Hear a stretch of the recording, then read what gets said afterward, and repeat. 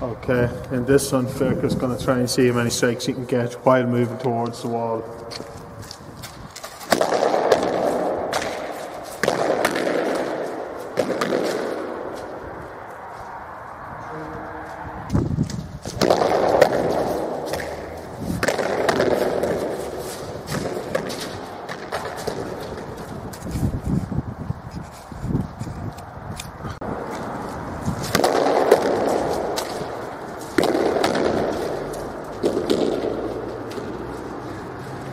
Okay, uh, Fiachra's got three. He's going to try and see can you better that.